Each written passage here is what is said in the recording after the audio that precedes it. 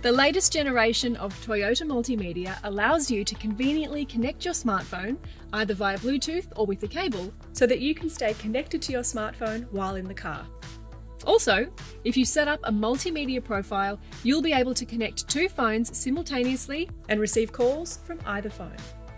To connect your smartphone using a cable, simply plug in your phone and the screen will be mirrored on the display. To connect wirelessly with Bluetooth, start by making sure that Bluetooth is enabled on your smartphone. When connecting with an iPhone, start by clicking on the Settings menu and select Bluetooth and Devices.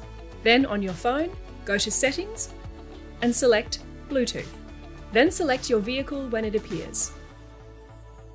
Confirm the code on the display matches the code on your phone, then pair the two, and if you would like your contacts and favourites to be synced, press Allow. With the iPhone connected, you can now enable Apple CarPlay. And then, after a moment, press Allow if you would like your vehicle to share Apple CarPlay apps. If connecting via Bluetooth on an Android phone, the process remains the same.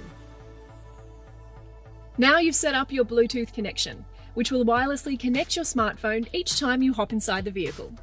To return to the Toyota main screen, press the Toyota app. Then, if you want to return to Apple CarPlay, tap the play icon. If you want to remove a Bluetooth device from the vehicle, go to Settings, Bluetooth and Devices, then select the device which you would like to remove and press Forget. For more information, visit toyota.com.au forward slash connected or visit your local Toyota dealership.